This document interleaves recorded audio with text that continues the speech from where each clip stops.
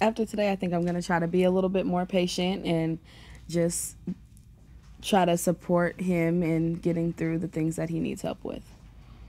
And after today, I think I'm gonna just step up and be a better man and not a man about shooters. well, I love this woman and I think I want to propose as soon as I can. Well, after today, I love her so much. I think I want to propose to her tonight. yeah. Ah, yeah. Can't take you nowhere. Thank you guys. Thank you. Is you. that it, uh, Monique, for you? Can't take you nowhere. Okay. That battery pack is hot.